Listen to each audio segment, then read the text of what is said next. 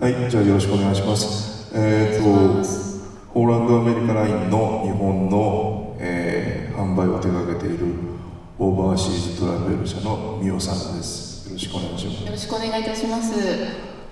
えっ、と、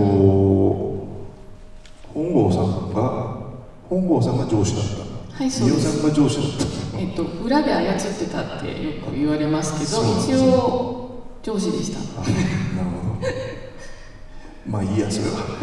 えっと、えーまず、美桜さんにちょっと気に入ったポーランドアメリカの写真を持ってきてくださいってお願いして、えーこれはロッテルダムっていう、まあ、歴史ある、えー船なんですけど、5代目、これ5代目ですね。先々代になります。今はフローティングホテルになってるんですね。はい、ロッテルダムに、あの、ロッテルダム号がフローティングホテルとして、今、ここに、このような形で、ロッテルダムがロッテルダムに。ロッテルダムがロッテルダムに停泊してフローティングホテルになっております。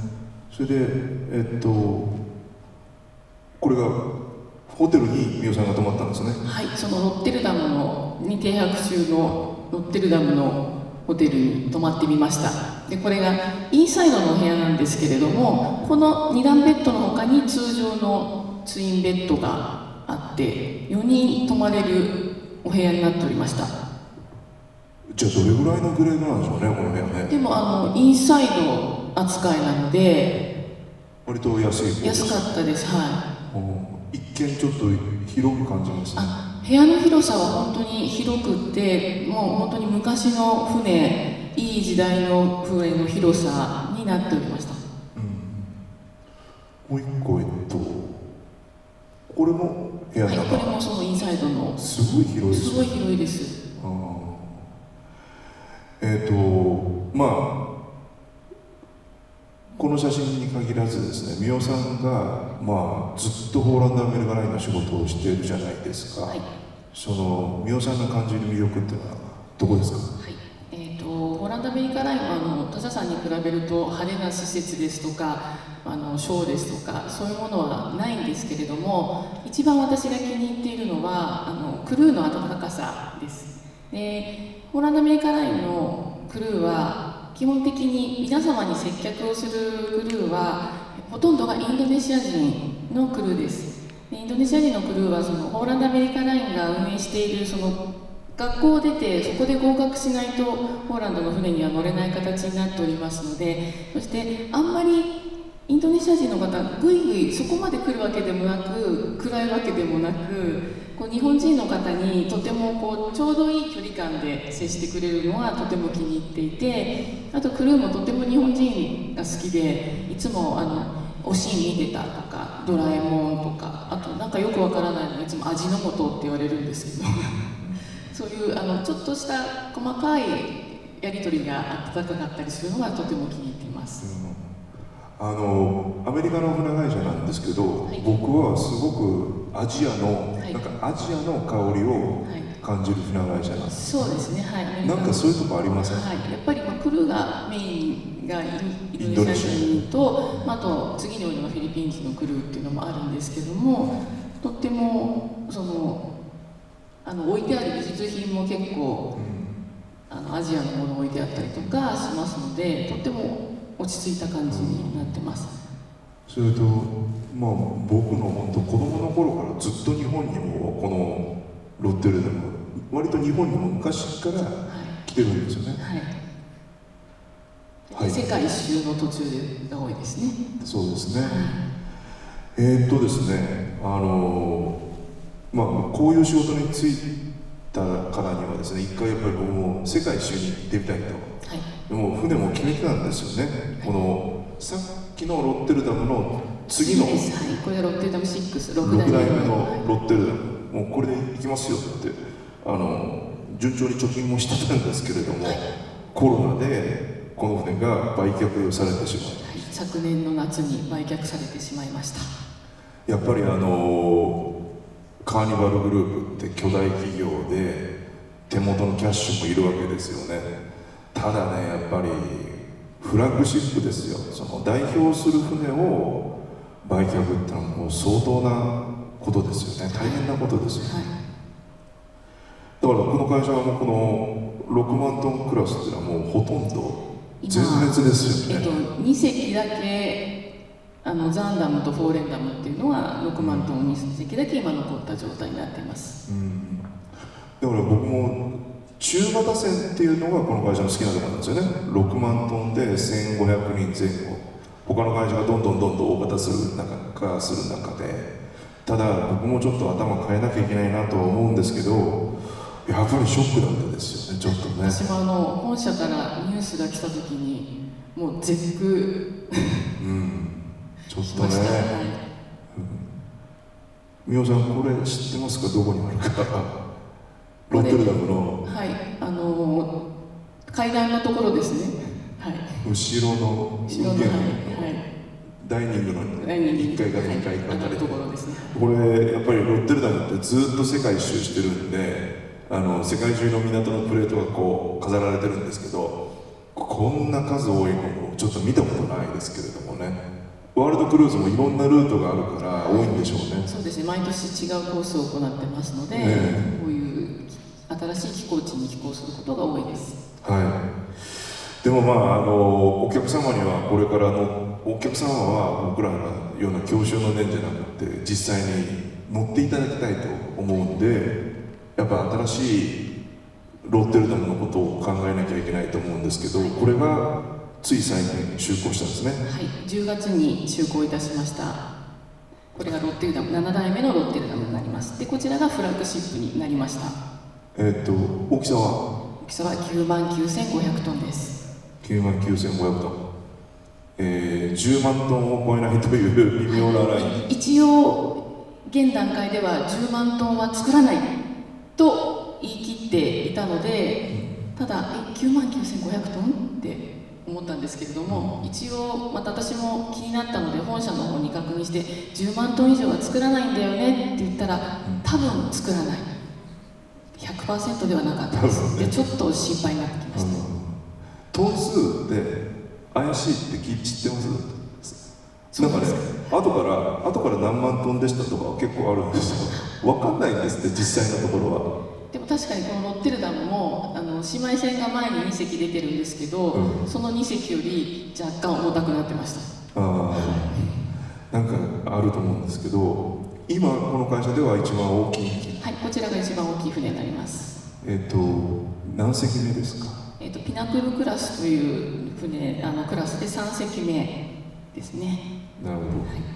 じゃあまあ中型船不安としてはもうこれ以上大きくはならないですか？はいえー、とほぼならないと本社から言われております。なるほど。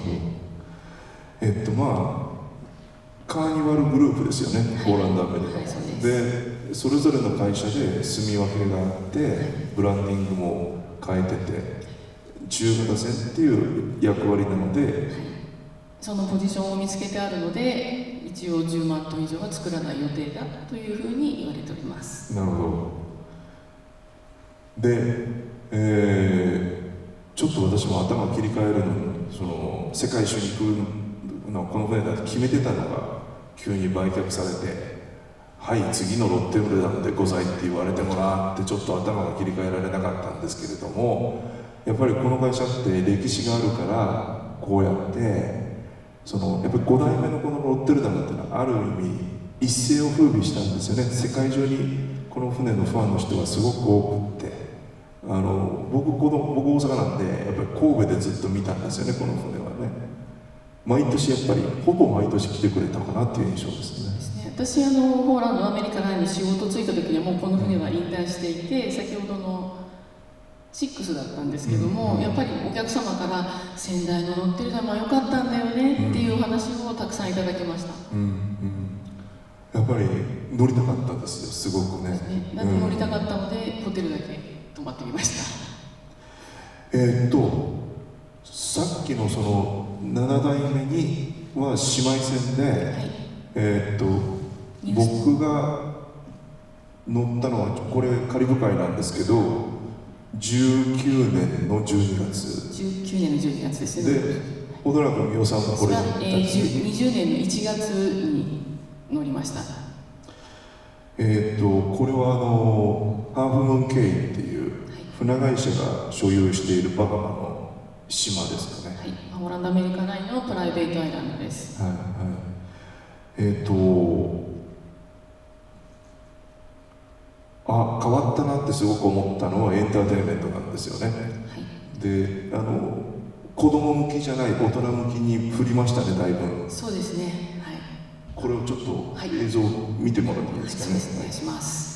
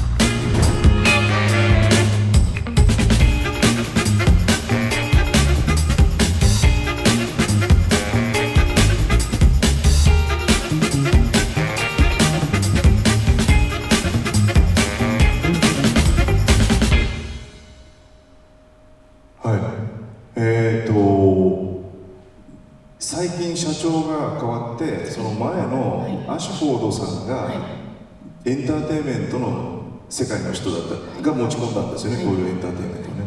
であのはっきり言ってしあの派手なショーとか、うん。そういう形のエンターテインメントではなくて生の音楽を楽しんでいただくっていうエンターテインメントにえー力を入れておりますで4種類のミュージックウォークと名付けた4種類の音楽を提供しておりまして今これが、えー、と BB キングスブルースクラブっていうやつなんですけどもこちらはあのファンクミュージックですとかブルースを聴かせてくれる、えーあの音楽になります。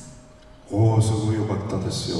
これ皆さんノリノリで踊ってますよね。結構はい。こんなでっかいスピーカーが積んで、い。本当ライブハウスみたいな本当にライブをで大人数で演奏してますので元の音もすごく迫力があって、とうん、っても人気の音楽です。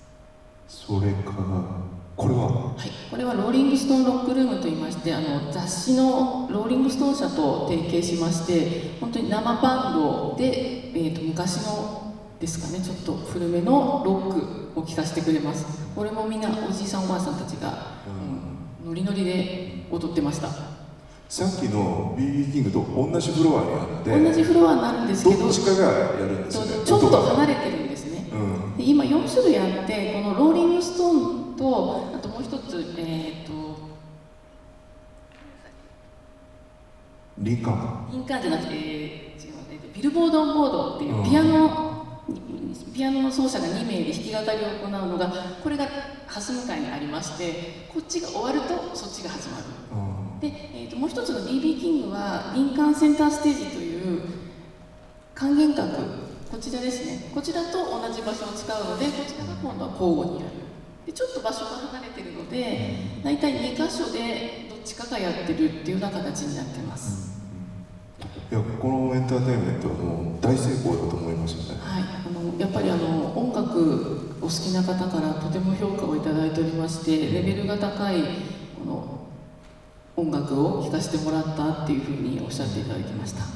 もうまあはっきりどっちかというとはっきりファミリー向きとかは言えなくて大人向きにもう振ったんでしょうね会社が。そうですね。はい。まあもともとそんなにあのファミリー向けというよりは基本的にお一人様かお二人でご参加されている方が多かったクルーズなのでさらにこのエンターテインメントに関しては本当に大人の方が楽しんでいただけるものになってるかなと思います。はい、えーダイニング、うんまあ随分でかくなっちゃいましたね。はい、でかく明るく明るい色調にだいぶなりました。うん。前の僕が乗って乗ろうと思ったロッテルダムがこれぐらいのだいぶこじんまりしてたんはい、こじんまりしてましたので、やっぱり9万9000ぐらい何人乗りでした？2000 2200とかそれぐらい乗ります。2200、ああだいぶやっぱり変わりますね。それからお部屋。はい、えっ、とこれがもう世界一周に行くんだったら大体そう300万ぐらいかな窓付きで、はい、だから夫婦で600万ぐらいでああと11年で行こうと思ってもうこの部屋をイメージしてたんですけどもう現代のロッテルダムはもはい、うこれぐらい普通でがすね。ベランダが一番多い客室になりました。えっとバスタブがだいぶもう減りましたね。そうですね、ホランドアメリカラインの特徴として、海側以上にバスタブがついてるっていうのが特徴だった、プレミアムクラスなのについてるっていうのが特徴だったんですけども、大体新しい船になりまして、だいぶバスタブはなくなり、スイートとかでないとバスタブがつかなくなりました。やはりあの世界的な流れで結構ラグジュアリーのホテルとかも皆さんがバスタブを取ってシャワーブースに変更してるっていう流れがあるようでそれに合わせた形になってるようですまあ実際我々もお客様にクルーズを説明するときにバスタブがありますよって有利にまあなるべく話はするんですけどさっき僕がバルコニーっていりますか？と一緒で自分自身実際1週間でお湯ためたの1回とかそんなもんだったりするんであのいいんじゃないと思うこともあるんですね。日本人なんですけど。日本のお客さんの声としてはどうですか？あのバスタブがあった時はあった時でそれは皆さんあの希望されてたんですけど何回はなくなったでそれに対してえなくなっちゃったの？っていうのはあまりないですね。新しい船なんで余計にそういうところまで皆さんお気になさらないのか。やはりちょっとやっぱりあの日本人の方が入る浴槽よりちょっと浅めなので多分バスタブあっても皆さんそこまでくつろげないのかなっていうのもあるのでだったらパッとシャワーで済ますなりあとはジャグジーとか行かれている方が日本人の方が多いみたいです。まあ今バスタブは本当どの船会社も減らす傾向にありますよね。それからこれはあのまあお客様からご予約をいただいた時に我々予約システムを駆使するんですけれどもあのもう部屋番号までやっぱりそれと船の構造上ですね。これかなりバルコニーの奥行き広いんですけどこういう部屋は同じ料金であるわけ同じですよ料金であります。あのデッキプランをよく見ていただくと同じカテゴリーなのにベランダがめちゃくちゃ広い部屋があります、でお客さんから指定がない時はもうなるべくこの部屋をあの私がもう選ぶようにしてるんですけどだいぶあの違いますよね奥行きがね。下手すると倍ぐらい違う時があります、ありますよね。はい。えっ、とここはね僕はそのカリブ海で行ってないんですよ。えっ、となんて読むの？セルセルデルデメメセルドメイシーフード。シーフードをメインにした、まあ、お肉もあるんですけどシーフードをメインにしたプラスセリでこの日本ホランドアメリカライブの料理を監修しておりますルディ・ソーダミンが監修したレストランになります。えっ、とアラカルト製カバーチャージ。これはカバーチャージ。最初アラカルト製だったんですけども今カバーチャージに変わりまして49ドルのカバーチャージです。49ドル、はい。なるほど49ドルでいくらでも頼んでいいんですか？はいそうです。はい。えっ、とこれ美代さんに送ってもらったんですけど左下はどうかなと思うけど。これ違うね。これねお皿なんです。え？お皿の柄なんです。これ料理じゃなくて？料理じゃない。左下のあれはこれお皿の柄です。あそうですはい。なんだこの趣味は。っ料理料理じゃないです。あー。まあ右上が右上が一番ね。うそうですまそうですね。フォアグラが乗ったやつですね。これはどうもそうです？ドーバーソースこれあの骨取ってもらった後の写真です。ああのテーブルの横でテンプルが撮ってくれました。あなるほどだからクルーズ料金が安い分自分でカスタマイズしてちょっと美味しいもの食べればっていけばいいわけですよ。そうですね、まあ、メインダイニングも正直今まであのクレーム上がったことはないんですけれども、やはりさらにプラスちょっと1回か2回ぐらいはこういうスペシャリティレストランに行っていただくっていうのも気分を変えていただいてよろしいかと思います。なるほど、はい。はい、じゃあですねあのまあ当社も、えー長年ホーランドアメリカの販売を手掛けてきたんですけれどもやっぱり日本のお客さんの休暇事情とかもあって7泊ぐらいまでしかなかなかね実際2週間とか売れ出したのって最近かな。最近です。だいぶ最近ですね。ですよね。はいでもあのちょっと変えていこうと思うんですよね。あのホーランドで言ったらアラスカとかばっかりじゃなくて。で今回あの三代さんから資料があってこれだなと思ったのは、えーワールドクルーズなんですよね。実際あの問い合わせとかやっぱり増えていくんですよ今。世界一周に行ってみたいっていう方が。で値段を皆さん知らないんですけどもまあこれインサイドでそうね。300万は270万。そうですね。はい。ですよね。はい。えー、とアメリカの会社なんで世界一周全部フロリダアメリカ発着にはなるんですけれども、えー、と船は？ザイデールダムというザイデールダ8万2000トンの船になります。なるほど。えっ、とそのシリーズは日本には来たことがあるそのシリーズは来たことあるんですけども、ええ。ザイデルダムは日本に来たことがないのでこの世界一周が初めての日本寄港になります。なるほど。でえっ、と日本人の人ではい乗るの今がこれですか？もう今ご予約いただいているお客様がいらっしゃいましてこのフォートローダーデールから東京までの区間乗船を今ご予約いただいているお客様がいらっしゃいますうんここがアマゾンですよそうですねアマゾンあのあんなあんな大きい船が入れるんだ。そうですね。マナウスまでは行く形です。その奥まではやっぱ行かないですけど、うんえっとお手元にはあの詳細な工程とか全カテゴリーの今の料金とかもあのありますんでご覧になってください。あとは、えー逆に東京からシンガポール。はい。24泊。はい。これより短いセクターは今のところないんですか？今のところないです。セクターで一番短いのは24泊のこの東京シンガポールですね。大体香港で2週間ぐらい出出そうだけどまあ長いので多分売れちゃうんですよね。そうです。基本的にほとんど長いフルフルで売れるのが多いので、うん。区間はやっぱり限られたキャビンでしか売られない形になってます、なるほど。それからもうちょっと長いドバイ。はい、東京からドバイ。はいえー、っとこれでも半分3分の1ぐらいですかね、128泊なので全部が。今航空路線がすごい減ってるんですけどやっぱりエミレーツは安定してるんでこういうドバイとかはいいですよね。はい。はい。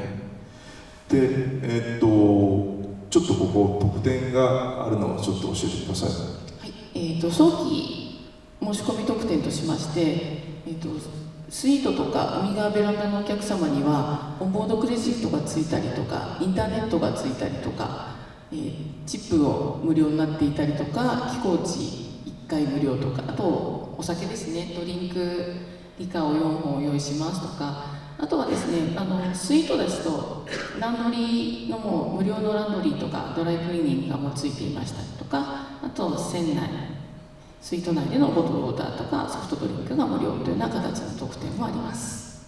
今この会社ってチップいくらでしたえっ、と通常のキャビンが15.5ドルでスイートが17ドルです。17 1泊1人。そうすると128泊だと20万ぐらいになるか入っもてしまうので早めにお申し込みいただいてうん。ここを無料にするだけでだいぶその分だけでもいくと思います。なるほど。はい。えー、と以上ですかね、ということであの私も頭を切り替えてやっぱりあのロッテルダムっていう名前が好きなんですね。だから形は全然変わっちゃったんですけれどもまたこの会社の魅力を掘り下げて皆さんにこういう場でもご紹介していきたいというふうに思いました。はいじゃあどうも皆さんありがとうございました。ありがとうございました。